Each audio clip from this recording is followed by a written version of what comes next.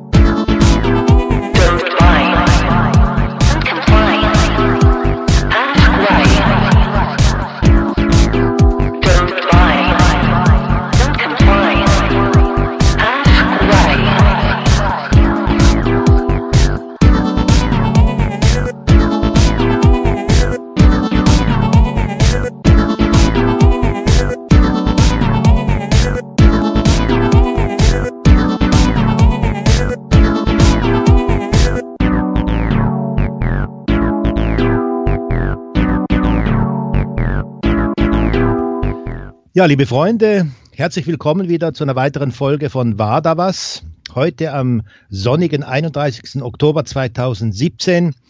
Da nehmen wir die Folge 3 der Brüder der Schatten durch und mit dem Titel ähm, Die andauernde babylonische Gefangenschaft in allen Lebensbereichen. Ja, also wie gewohnt möchte ich auch diese Sendung äh, einleiten mit dem passenden Wochenspruch aus Rudolf Steiners Seelenkalender. Also es wäre äh, die 31. Woche, äh, datiert 9. bis, äh, Entschuldigung, 3. bis 9. November. Das Licht aus Geistestiefen, nach außen strebt es sonnenhaft. Es wird zur Lebenswillenskraft und leuchtet in der Sinne Dumpfheit um Kräfte zu entbinden, die Schaffensmächte aus Seelentrieben im Menschenwerke reifen lassen. Ja, also der Wochenspruch, eigentlich spricht er für sich, wenn man diese Gedanken meditativ äh, durchlebt, dass diese, äh, das Sonnenhafte, nachher im Innern äh, umgewandelt wird, im Innern der Menschenseele zu Lebenswillenskraft und dann in die dunkelsinnenhafte äh, äh, Umwelt, in der wir uns befinden, dann hineinleuchten kann. Also das Licht der Weisheit selbstverständlich. Ähm, dass wir das natürlich nicht nur für uns selber, sondern für die allgemeine Menschheit da leuchten lassen und reifen lassen sollen, das versteht sich von selbst. Über diesen Wochenspruch könnte man auch lange, lange weiterreden, aber das soll ja jetzt heute nicht unser Thema sein, sondern wir wollen da gerade in Media, Medias Res gehen. Ähm, tja, und dann gibt es einige Dinge zu berichten in diesem letzten Oktober, was sich da äh, zugetragen hat bei mir. Da habe ich zwei Beispiele, die ich dachte, die könnten auch für euch interessant sein. Also nach einem ereignisschwangeren Monat äh, berichte ich über eine weitere Episode mit äh, bewaffneten Uniformierten, an der Grenze zum Bund sowie einem unglücklichen Post in einem Wetterportal und die daraufhin äh, gewonnenen Erkenntnisse. Der Status quo in allen Lebensbereichen wie Kunst, Wissenschaft, Religion, Sozialgefüge, Erziehung, Ökonomie, Politik, Rechtswesen, Gesundheitswesen, Ernährungswesen, egal wohin man auch schaut in unserem heutigen modernen Leben, ist von einer maliziösen, engmaschig organisierten Matrix oder wie ich es auch nenne, die Infrastruktur des Bösen durchzogen.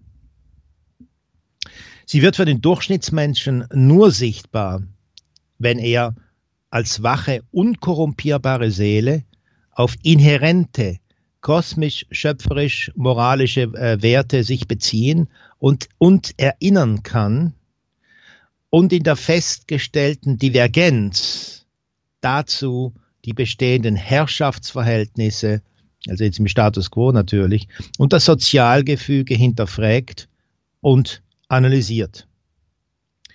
Dann stößt er auf die Individualfreiheit beschneidenden dann stößt er auf das Individualfreiheit beschneidende Gesetzeskorsett, das als Herrschaftsinstrument von einigen wenigen Psychopathen geschaffen wurde, um den Rest der Menschheit zu unterdrücken und auszuplündern.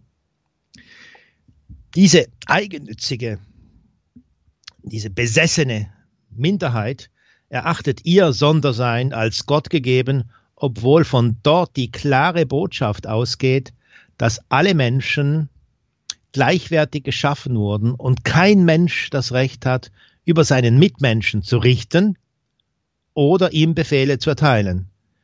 Es gibt mannigfaltige Bezeichnungen für diese Gattung Mensch. Der Krieg gegen die göttliche Schöpfung, die Krieg gegen die Schöpf göttliche Schöpfung äh, führen. Zum Beispiel Herodianer, Dunkelmenschen, Lemuren, Menschheitsverräter, Tenebristi, Morituri oder Dims, wie Detlef sie nennt. Also die dominant irrsinnige Minorität.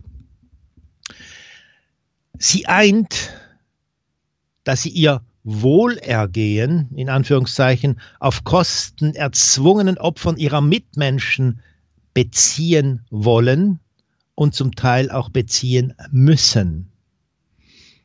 Das bezieht sich auf den Pfad, den sie eingeschlagen haben. Dazu haben sie seit Urzeiten ein elaboriertes Unterdrückungsinstrumentarium mit Hilfe dämonischer Wesen aufgebaut. Unterdrückung der unveräußerlichen Individualrechte eines freien, selbstbestimmten Menschen-Ich durch Organisationen wie Kirche und Staat. Kirche und Staat führen illegitim aufoktroyierte Verhaltenskodizes ein, wonach sich die Restmenschen zu richten haben oder hätten. Diese Kodice gelten aber nicht für sie selbst. Sie nehmen sich ein auf Überheblichkeit und Eigenwahn beruhendes Sondersein für sich in Anspruch und verneinen den Engel oder gar und vermeinen, Entschuldigung, den Engel oder gar Götterstatus für sich beanspruchen zu können, ohne die dafür nötige moralische Entwicklung absolviert zu haben. Die erste Stufe dieses Unterdrückungsinstrumentarium ist für alle Menschen noch sichtbar und erfahrbar. Also das Staatswesen, die Kirche und so weiter, was sich dahinter versteckt und Jesuiten. Ich habe das ja in vorigen Sendungen schon äh, an, äh, behandelt. Dann gleich dahinter befindet sich auf der zweiten Stufe die äh, halbokkult, also versteckten Organisationen wie Geheimdienste oder ähnliche, die von der Pseudo-Elite als Exekut Exekutive benutzt wird, wenn ihre boshafte Willkür den, den Rahmen, den für die Allgemeinheit geschaffenen Gesetze sprengt. Also wenn es ganz offensichtlich äh, klar erkennbar gegen die Freiheit der Menschen geht, dann bedienen sie sich dieser Geheimdienstmethoden.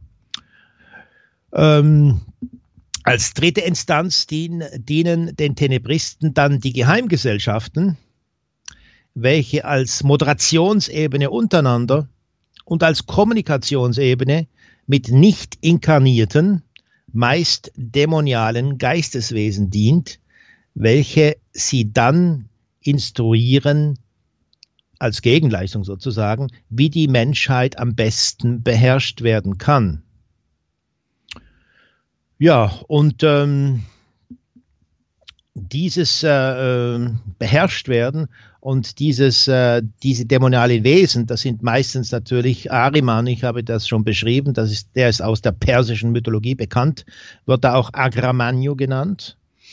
Und äh, natürlich der äh, äqui äquivalente Name von Christus wäre der Ahura Mazdao im Persischen, der damals natürlich auch, das, das schon natürlich vorhanden war, der ja unsere ganzen Körper und, äh, und Sinnesorgane mitgeschöpft hat. Der ist ja nicht einfach nur so dahergekommen, sondern der war ja in, äh, ganz intensiv mit unserer Werdensgeschichte, unser, äh, unseres Aufbau unseres Körpers, unserer Seele etc. schon mitbeteiligt und ist dann natürlich äh, historisch dann vor 2000 Jahren als ähm, von außen äh, äh erscheinende Person äh, oder Mensch äh, inkarniert, also ein göttliches Wesen, das sich in einem menschlichen Körper inkarniert hat. Und dann natürlich äh, die Unterwelt, nach der er am Kreuz gestorben ist, sagen wir mal, äh, weil der ganze Prozess ja für ihn auch gilt, wie, der, wie er kollektiv für die Menschen gilt, dass sie dann abgestiegen sind in die sogenannte Unterwelt und da hat er seine, sein Christuslicht verbreitet, was natürlich diesen dortigen Dämonen nicht sonderlich behagt hat. Und gleichzeitig hat er natürlich auch eine, ja, einen Grundstein gelegt zu einem späteren Energiekörper, den wir dann, äh, also das gerade das hat mit dem Ich, mit dem, mit dem Ich zu tun, eben mit dem freien, selbstbestimmten Wesen, mit Freiheit. Äh, de, de, da er, die er da, also diesen Grundstein hat er damals eben gelegt. Und dieses Buch von Pfeiffer, das ist eigentlich das Hauptthema heute, äh, dieses Buch von Pfeiffer äh, werde ich dann weiter äh, hauptsächlich drauf Passagen oder Textteile vorlesen, dann meine Kommentare dazu abgeben und ähm, ja, ähm, und dann schauen wir, wie weit wir heute kommen in dieser Sendung, weil äh, es wird alles ein bisschen knapp wieder heute. Ja, ich habe ja gesagt, ähm, es gibt zwei Einzelpunkte, mit denen fange ich jetzt an. Und zwar äh, habe ich am 24. Oktober, ich beschäftige mich eigentlich nicht äh, sonderlich mit äh, Posten in Portalen, aber es hat sich so als Zufall ergeben, dass ich dann am 24. Oktober um 7.43 Uhr äh, in dem Dienst Wetter Online einen Post gemacht habe. Und dann, äh, da stand da drin, also der Post hieß ungefähr Wochenende Luft direkt vom Nordpol, wenn das interessiert, da kann das ja nachschauen. Man kann dann so in der äh, äh, Wetter-Online-Geschichte kann man da runterscrollen. Und dann, ähm, wie gesagt, der Titel vom 24. Oktober um 7.43 Uhr, Luft direkt vom Nordpol. Dann hat ein gewisser Meteor Shark, natürlich ein Deckname, hat da einen Post gemacht und, ähm, ähm, und dann habe ich darauf geantwortet, dass ähm, ja, wer, es gern wahrhaben wollte, er natürlich dann äh, in Herbst und Winter dann in diesem Breiten natürlich fehl am Platze ist und sich jenseits des 35. Breitengrade niedersiedeln sollte. Und darauf hat sich dann eine Geschichte entwickelt. Da habe ich dann zwei, mit zwei, drei Posts geantwortet äh, äh und insgesamt vier Posts gemacht, äh, fünf Posts gemacht, von denen drei dann natürlich wieder zensuriert und dann wieder entfernt wurden. Und dann bin ich der Sache mal ein bisschen nachgegangen, habe gedacht, wie geht das, wie ist das möglich, dass das Leute ähm, das zensurieren? Wir wissen ja auch, Detlef hat das ja auch seine Recherchen da gemacht bezüglich dieser Wetterdienste. Gerade in Amerika weiß man, dass die in den Händen der Rotschuld oder Rothschild-Dynastie sind und äh, dass da natürlich da im Hintergrund militärisch da Wetterfabrikationsmechanismen äh, dann ähm, sie äh, äh, gestalten und natürlich auch die Interpretation dann in ihren Händen wissen wollen, damit das natürlich dann aufgeht, damit die das miteinander koordinieren und abstimmen können. Ähm, ja, und dann habe ich eben einige Sachen so erzählt, was da so im Hintergrund äh, diesbezüglich, ich habe ja vorhin eine Andeutung gemacht, was da, ähm, äh, ja, warum diese, äh, diese Wettergeschichten da sind und dass da natürlich auch eine gewisse Agenda im Hintergrund läuft. Ähm, und das hat diesem Meteor Shark eben nicht gepasst. Worauf er dann gepostet hat, dass äh, Reichsbürger, äh, sogenannte Reichsbürger nichts zu äh, suchen hätten. Dann sagte ich, ja, Reichsbürger, sehr interessant. Ich liebe natürlich am besten Basmati-Reis mit ähm, Basmati-Reis mit Sabji Tikka, also mit ähm, scharfem Gemüse. Und ähm, tja, ich habe das nur ein bisschen so ins, ins, ins Lächerle gezogen. Ähm, da wurden aber weitere Posts äh, gelöscht, weil ich darauf hinwies, dass eben gewiss, dass dieser Meteor Shark und auch ein gewisser David Obst, der da postet, da, da bin ich ein bisschen der Geschichte nachgegangen. Ich habe dann eben festgestellt, auf dem Netz, das kann man ja auch eingeben mit David Obst, dass das sich um gewisse Spindoktoren oder Aufpasser im Dienste der CIA die in so seichten Medien und Foren äh, dazu äh, auserkoren sind, äh, Elitenfeindlichkeiten elegant herauszuputzen. Äh, es gibt ja auch im, im, im, im, äh, im Ozean diese Putzerfische, die den Haifischen dann sozusagen die Fleischreste von den Zähnen nagen.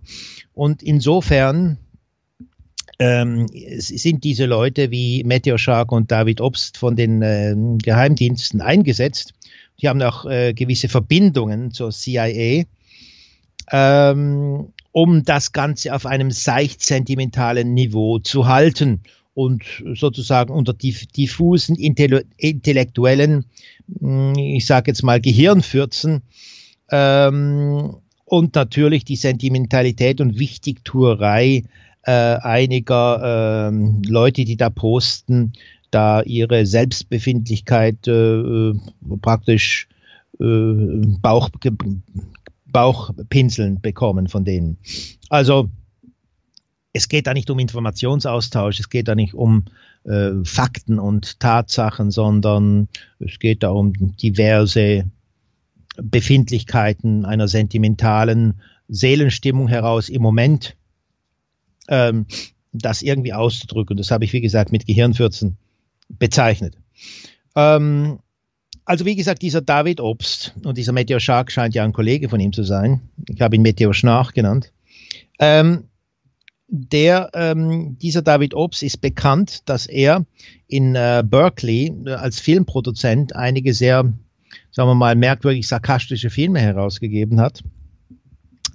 Äh, er ist an der Uni Berkeley dann tätig gewesen, das ist eine offizielle Geschichte und das bringt, habe ich überhaupt auf die Sache jetzt gebracht, das zu erwähnen, dass diese Leute ja in der offensichtlicher, äh, wie soll man sagen, in offensichtlicher Verstecktheit tätig sind.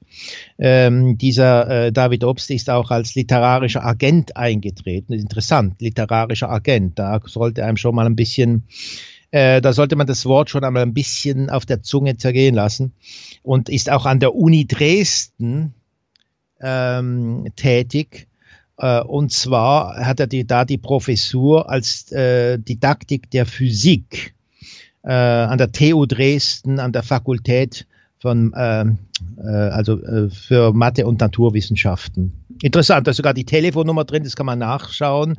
Ähm, wie gesagt, literarischer Agent ähm, David Obst, ähm, da in Dresden, da, wie gesagt, die Telefonnummer und zwar ähm, auch wie, wie, äh, Wikipedia sogar.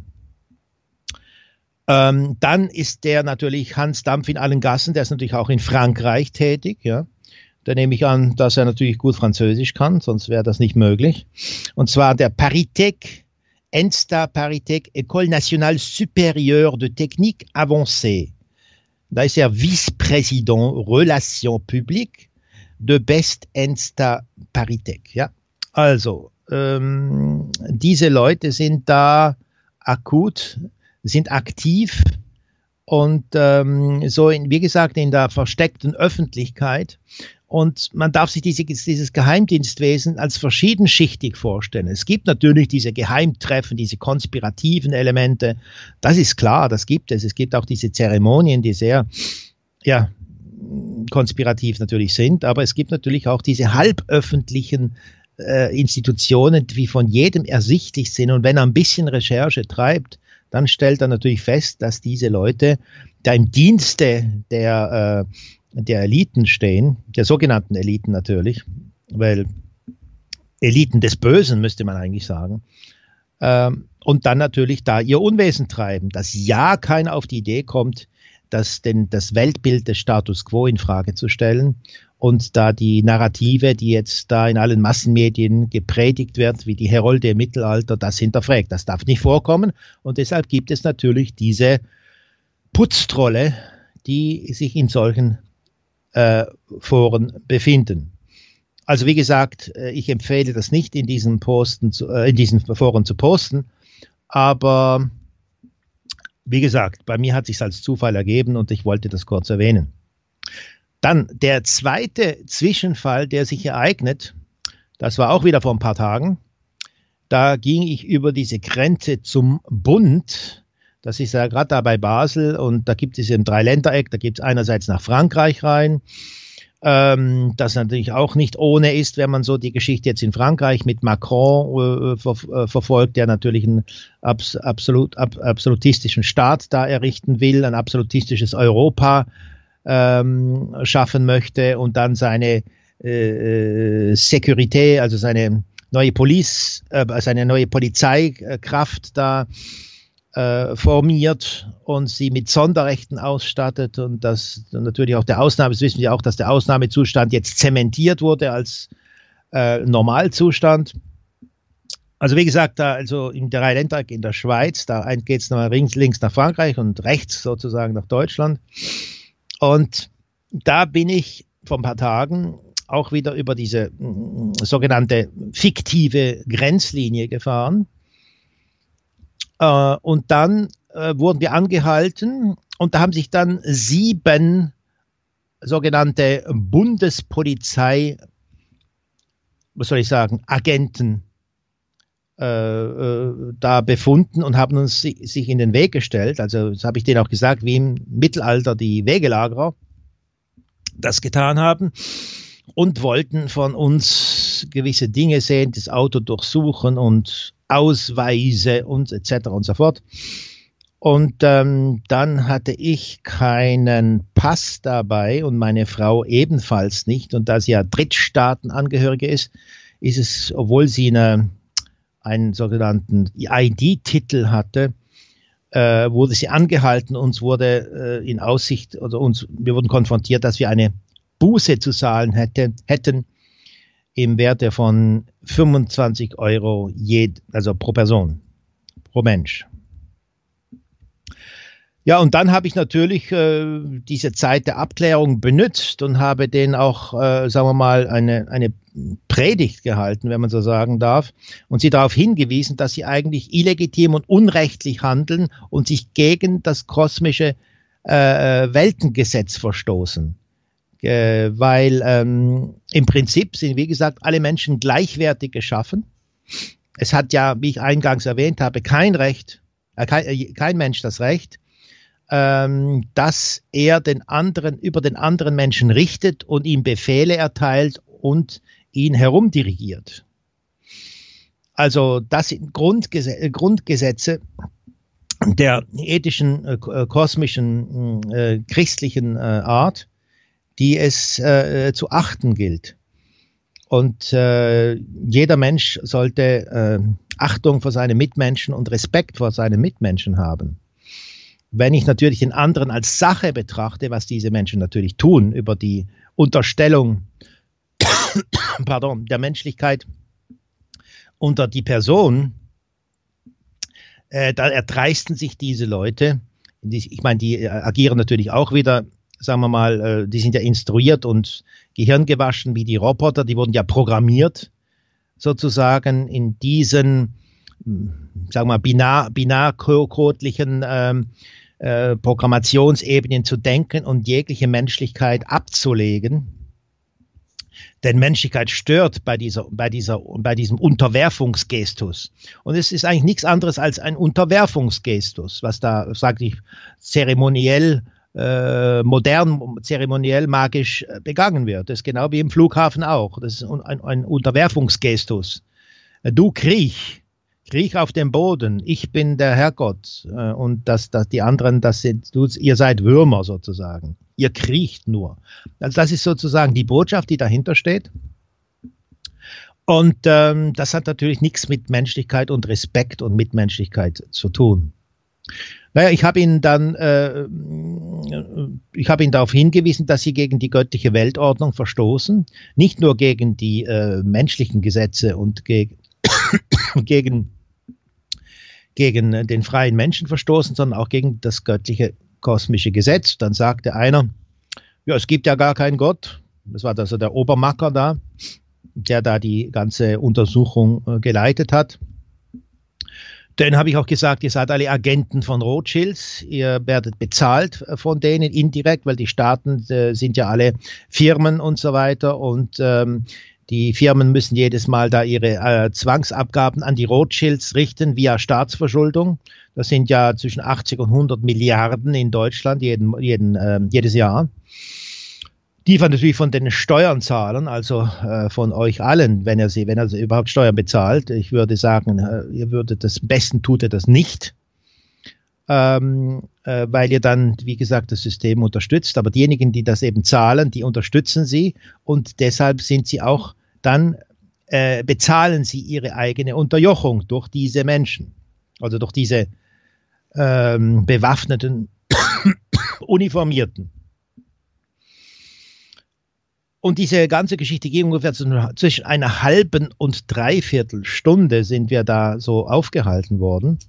Und während dieser Zeit habe ich sie natürlich mit einigem Wissen, äh, das ich äh, äh, ich hatte über diese Hintergründe.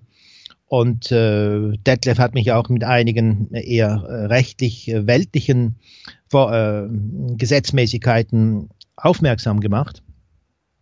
Und äh, das habe ich denen natürlich, ähm, wie gesagt, aufs Butterbrot geschmiert.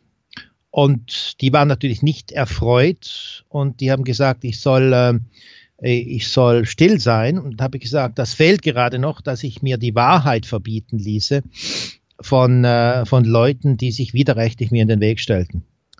Also, wie gesagt, das sind so Alltagsbegegnungen, wo man merkt, dass, es, dass das System absolut äh, hierarchisch und unterwerfungs äh, auf Unterwerfung beruht äh, und dass du als untersten Teil der Pyramide betrachtet wirst, als sozusagen als Sklave und Sklaven natürlich auch nichts zu melden haben. Und in diesem Ton, in diesem Sinne sind die Leute auch mit uns umgegangen. Ist ja auch klar, weil sie, sie, sie, sie sagen zwar nicht, ihr seid Sklaven, aber sie behandeln äh, in dem ganzen Gestus und dem Umgange, kann man das feststellen, dass man als Sklave eben behandelt wird. Und ähm, insofern ähm, meine, die haben auch die, äh, sie nehmen auch die, sagen wir mal, die Interpretationshoheit für sich in Anspruch. Jegliche, sagen wir mal, äh, logische valable und ethischen Argument, Argumente, die man vorbringt, die gibt es für die nicht. Wie gesagt, die sind abgerichtet. Sie sind wie programmierte Roboter, die nur in diesem binären System Ja oder Nein aufgrund äh, Gesetz, ihrer sogenannten Gesetze und äh, das ich natürlich dann auch in Frage gestellt habe mit den Gesetzen. Ich habe sie darauf aufmerksam gemacht, dass ihre Kollegen von den Geheimdiensten ja zuständig sind, um die äh, sogenannten Terroranschläge zu planen und oder auszuführen beziehungsweise zu betreuen. Ähm, um dann natürlich die Polizeikraft und, die, das, und das Unterwerfungsinstrumentarium ähm, äh, bezüglich Polizei und äh, Staats- oder Behördenkräfte zu erweitern und auszubauen und doch die äh, Lücken, die da noch vorhanden sind, zu schließen. Das hat denen natürlich auch nicht äh, gepasst. Die sind natürlich dann in ihrem Programm weitergespult. Äh, und dann haben sie gesagt, sie hätten sowas noch nie erlebt. Äh, und dann habe ich gesagt, es wird langsam Zeit, dass Menschen, wenn sie mit den, diesen Behörden äh, praktisch konfrontiert werden, sie zwar freundlich, aber doch, sagen wir mal, relativ äh, klar und eindeutig äh, äh aufmerksam machen, dass sie eigentlich widerrechtlich und widermenschlich und unmenschlich handeln. So, das waren diese zwei, sagen wir mal, äh, Alltagsberührungspunkte mit dem System, dass ich meine, dass die Leute wissen sollten und wie gesagt, immer menschlich bleiben. Ich habe denen auch gesagt, ich habe nichts gegen sie als Mensch. Äh, ich achte und respektiere sie, aber ich habe etwas gegen ihre Tätigkeit, die natürlich die anderen Menschen, wie erwähnt, als Sklave betrachtet und in der Machthierarchie unterwerfen will. Ja, so, jetzt kommen wir natürlich zum Hauptthema in unserer Sendung. Es war das Buch Die Brüder des Schattens. Das behandle ich ja seit äh, die, die letzten drei Male schon von Heinz Pfeiffer, der in den Anfang 80er Jahre, also Ende der 80er Jahre gestorben ist. Anfang 80er Jahre hat er dieses Buch geschrieben und der ist Anthroposoph gewesen, hat aber natürlich als Anthroposoph eine, ein Außenseiter-Dasein zeitigen müssen mit seiner Thematik, die er da gemacht hat. Äh, und das haben nicht alle gern gehört, weil auch dort leider gewisse Kräfte Einzug gehalten haben, die eine wahre Geistigkeit pardon, verhindern möchten und auch eingesetzt wurden von gewissen Kräften, also Klammer Freimaurern, ähm, und äh, übertragen sind Jesuiten und Religion, jetzt im Klammer, Klammer zu, äh, die das eben nicht wollen, dass die Anthroposophie im eigentlichen Sinne von Steiner eine Alternative bildet, um diese Knechtschaft, um diese babylonische Gefangenschaft, die ich ja eingangs auch erwähnt habe, zu beenden, erstmal zu lindern und dann äh, zu beenden. Dass die, die, dass die wahre äh, Inhalt, warum Christus auf diese Welt gekommen ist, dass dieser Inhalt so weit wie möglich vernebelt werden soll.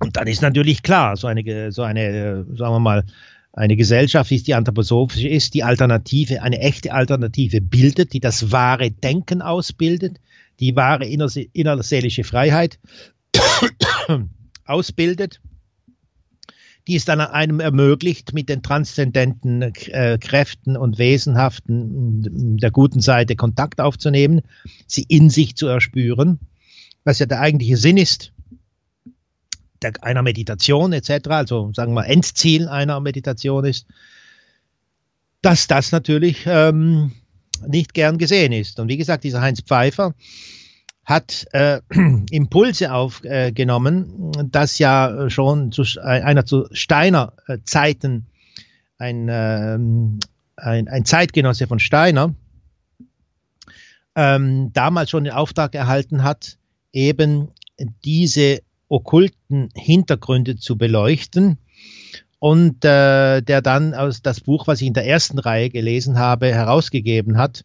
Und zwar, dass die Entente-Freimaurerei, das hieß dann mit dem Titel die Entente-Freimaurerei und der Erste Weltkrieg. Das war der Karl Heise, der dieses Buch eben herausgegeben hat. Und er hat die Tradition von diesem Karl Heise dann, äh, wie gesagt, weitergeführt und aktualisiert und ausgebaut und dann natürlich Stand 89, als er gestorben ist, ist es dann, ähm, dann stehen geblieben. Dann hat der Herausgeber, der jetzige Herausgeber, hat das dann, wie gesagt, auf den Stand der relativ hm, letzten modernen Zeit dann äh, gebracht. Äh, ich möchte eingangs nochmal diesen Satz verlesen, der wirklich zentral in diesem Buche steht. Und zwar ist es Paulus an die Epheser, Epheserbrief 6, 12. Wir haben nicht mit Wesen von Fleisch und Blut zu kämpfen, sondern mit den überirdischen Mächten, mit den teuflischen Gewalten, mit den Beherrschern dieser Welt, der Finsternis, mit den bösen Geistwesen in der Himmelswelt. Ja, und wie ich auch oft darauf hingewiesen habe, ist es ja so, dass diese Menschen, wenn sie im Trott des Alltages sind, äh, das Böse eben nicht sehen wollen und nicht wissen und nicht wissen wollen, dass sich das in, die, in unserem Alltagsleben etabliert hat. Und gerade mit Institutionen wie Staat und Kirche, mit Behörden etc., dann, sagen wir mal, als letzte sichtbare Instanz dann äh, weil das braucht man ja, wenn man interagieren möchte mit der Bevölkerung und sie auch sie beherrschen möchte, muss man ja einen Angriffspunkt bieten. Und dieser Angriffspunkt ist so, dass er natürlich die Intentionalität äh, und die ursprünglichen Absichten der Schöpfer dieser Institutionen verwischt und anonymisiert. Äh, und darum ist es sehr wichtig, dass wir erkennen in unserem äh, Alltagsleben, in unserem Vie quotidien, dass wir feststellen, dass diese Dinge tätig sind, dass nur, wir nur mit offenen Augen, sagen wir mal, sie auch, wie ich vorher sagte, mit diesen, mit diesem ähm, David Obst, dem CIA ähm, Putzerfisch da, äh, dass diese Dinge der Halböffentlichkeit klar ersichtlich sind.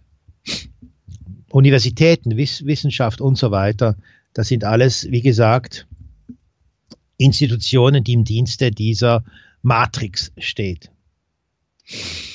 Also ich werde jetzt ein paar Sachen äh, direkt lesen, von die ich äh, als wissenswert äh, erachte und ähm, werde dazu meine Bemerkungen machen. Also Heinz Pfeiffer, der äh, geboren 22. Juni 1910 bis 25. Januar 1990, hat eine Reihe bemerkenswerter Publikationen verfasst, die im Anhang dieses Buches chronologisch aufgeführt sind. Am bekanntesten sind seine Ausführungen zu den politischen Hintergrundkräften. 1981 erschien erstmals sein Buch Brüder des Schattens, 1987 letztmals in einer dritten, nochmals erweiterten Auflage. In den 1980er Jahren erhielt Heinz Pfeiffer die Gelegenheit, von, in der von Helmut Finsterlin herausgegebenen anthroposophischen Zeitschrift Erde und Kosmos einige ergänzende Beiträge zu diesem Thema zu veröffentlichen. Nach über 20 Jahren liegt nun eine vollständige überarbeitete vierte Auflage der Brüder des Schattens vor. Für diese Neuauflage wurden Quellen geprüft und Inhalte und Strukturen überarbeitet und, an, und ähm, aktualisiert. Es ist das Verdienst Heinz Pfeiffers, die geschichtliche Symptomatologie Rudolf Steiners auf die pragmatische Geschichtsschreibung anzuwenden und dem Leser die Technik zu vermitteln, wie die Chiffren der, der offiziellen Geschichtsschreibung, die Fable convenue zu lesen sind. Dazu werden zwei Herangehensweisen beschritten. Also geschichtliche Symptomatologie, wenn man das Wort schon hört, Symptom, ja, eine, ein Symptom in der Geschichte, das deutet schon ganz klar darauf hin, dass das, was gesagt wird, äh, sagen wir, den wahren äh, Verlauf, äh, sagen wir mal gelinde gesagt, nicht nur verwischt, ähm, undeutlich macht äh, oder vertuscht, sondern, so, sondern sogar teilweise verfälscht. Ähm, also, also erstens diese zwei Herangehensweisen. Also erstens das deduktive Vorgehen. Ausgehend von Aussagen Rudolf Steiners über geistige Zusammenhänge werden bestimmte historische Fakten als Merkpunkte für diese Gesetzmäßigkeit angeführt. Das in, zweitens das induktive Vorgehen. Einzelne herausragende geschichtliche Vorgänge sollen als Bilder für die geistigen Zusammenhänge zum Nachdenken und Nachforschen anregen. Daraus entstehende Gesamtdeutungen werden dargestellt. Ja, die Verknüpfung dieser Ansätze ermöglicht eine auf einer symptomatologischen Forschungsmethodik beruhende Betrachtung der jüngeren Geschichte. Eine wissenschaftstheoretische Erörterung und ein Diskurs zu dieser Thematik stehen noch aus. Hingewiesen sei jedoch auf die grundlegende An Arbeit von André Bartonicek zu Rudolf Steiners Erweiterung der Geschichtswissenschaft. Rudolf Steiner skizzierte die Aufgabe einmal wie folgt.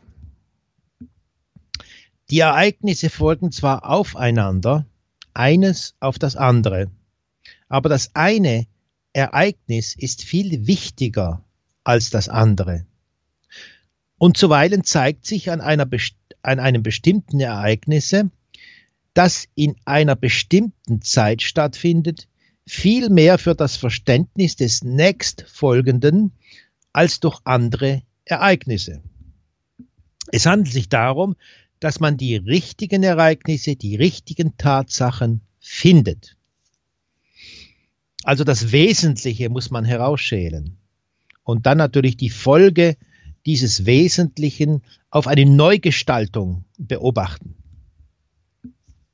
Solch eine Geschichtsbetrachtung äh, nannte ich oftmals vor Ihnen eine symptomatologische Geschichtsbetrachtung, im Gegensatz zu der bloß pragmatischen, die man heute vielfach sucht, ähm, eine Erkenntnis des Inneren, des geistigen Werdegangs aus Sy Symptomen, wobei man an gewissen Stellen Ereignisse findet, die die Ereignisse ihrer Umgebung an Bedeutung überragen.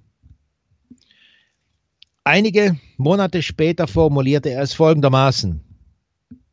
Es kommt sehr häufig darauf an, dass man den Blick nach einem Punkt richtet und dann den Blick wiederum nach einem anderen Punkt richtet und dass man gerade diese, diese beiden Punkte in ein Verhältnis bringt, dass man diese Punkte anschaut. Wenn man die richtigen Punkte ins Auge fasst, da muss man natürlich wach sein, man muss denkend die Sache verfolgen und nicht im Halbschlaf, also wenn man die richtigen Punkte ins Auge fasst, so findet man Lichter, die die Situation aufhellen. Ja, ähm, wie macht man solche Dinge? Sehen Sie, darauf kommt es eben an. Wenn Sie Geisteswissenschaft in der richtigen Art betreiben, dann finden Sie die Punkte im Leben heraus, die Sie zusammenschauen müssen, damit sich Ihnen das Leben enthüllt. Während Sie sonst das Leben verfolgen können, Ereignis nach Ereignis betrachtet, als immer gleichwertend, was natürlich irreführend ist, und nichts verstehen können vom Leben, wie es die pragmatischen Historier, Historiker der Gegenwart machen, die von Ereignis zu Ereignis ihre Fäden ziehen, aber nichts verstehen vom Leben, weil es darauf ankommt, symptomatisch die Welt zu betrachten. Pardon. Und das wird immer mehr und mehr notwendig werden, die Welt symptomatisch zu betrachten. Das heißt, so zu betrachten, dass man den Blick an die richtigen Stellen hinwendet und von den richtigen Stellen aus die Verbindungslinien zieht zu anderen Dingen. Um die Wirklichkeiten zu erkennen, empfiehlt Rudolf Steiner, es gibt Punkte, da kommen die geschichtlichen Ereignisse hinein, sowie die Wogen, die da heraufspülen, manchmal vulkanisch. durch das, was da darunter ist. Wiederum an anderen Punkten, da guckt es, ich möchte sagen, heraus. Und die einzelnen historischen Ereignisse verraten das, was drunter ist.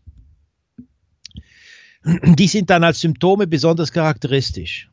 Aber manchmal sind es gerade Symptome, wo man, indem man hinschaut auf die symptomatische Tatsache, über das Äußere sehr stark hinwegsehen muss. Das möchte ich überhaupt betonen. Über diese äußeren Geschichtsmäßigkeiten, die da in den Medien, besonders in den Massenmedien erzählt werden, das sind Ablenkungsmanöver. Das, das, das, das führt ab von wirklich Kern der Botschaft. Und man muss gerade zwischen den Zeilen lesen, wenn man das, wenn man noch diese Massenmedien konsumiert, dass man überhaupt sich erschließen kann, um was es eigentlich geht und was die Intentionalität dieser ähm, maliziös okkulten Elite, ähm, was deren Intentionen sind. Also weiter. Heinz Pfeiffer hat in diesem Sinne versucht, Symptomatisches aus Geschichte und Politik aufzuzeigen.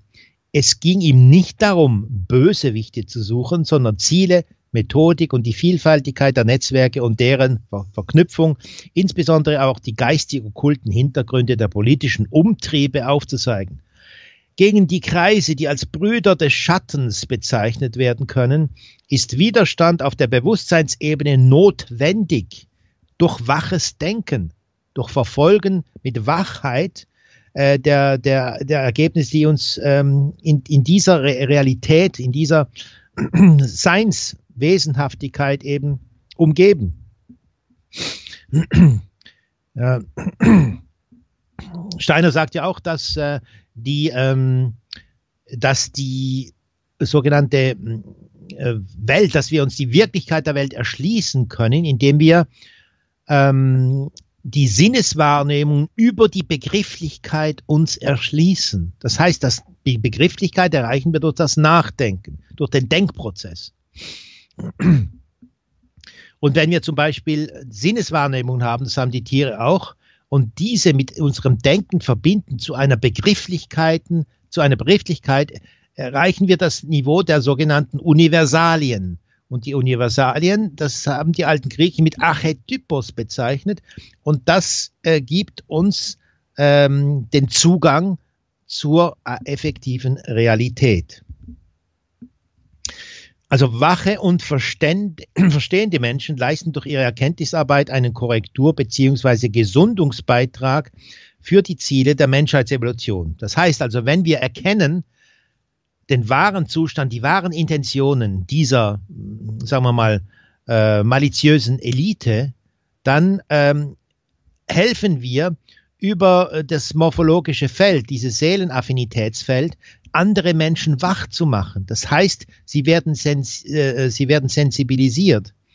Denn der gute Kern eines jeden Menschen ist ja praktisch unkaputtbar. Auch die, die heftigsten Angriffe des Bösen vermöchten, vermöcht, vermöchten es nicht, diese Quelle des Guten zu zerstören und diese ursprüngliche Verbindung mit der Wahrheit auszulöschen. Also weiter, der Themenkomplex ist vielschichtig. Handelt es sich doch nicht nur um Politik und Geschichte, sondern ebenso um wirtschaftliche, wissenschaftliche und finanzielle Praktiken und Verhältnisse, um Fragen der Geopolitik, der Völkerkunde und Psychologie, der Manipulation der ganzen zivilisierten Menschheit mit Hilfe von Ideologien und täglich verbreiteten Halb- und Unwahrheiten und so weiter in Klammer äh, muss ich herbeifügen, Sophismus Schule von Gorgias, die natürlich in diesem, sagen wir mal, Verschleierungs- und äh, Fehlleitungsprozess wirklich äh, sehr gute, ähm, also in, in den ihren Sinne sehr gute Verdienste geleistet hat. Es soll hier beispielhaft die Methodik der Machenschaften der Brüder des Schattens aufgezeigt werden, die auch dem unvorbereiteten Leser ein grundlegendes Verständnis ermöglichen.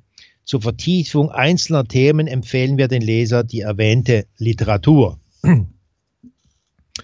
Ja, also bevor wir jetzt weiter da äh, hineinsteigen, dann in den einzelnen Kapiteln, die ich da euch da jetzt vorlesen müsste, das müssen wir uns aber eine, nächstes Mal dann ähm, äh, vorbehalten.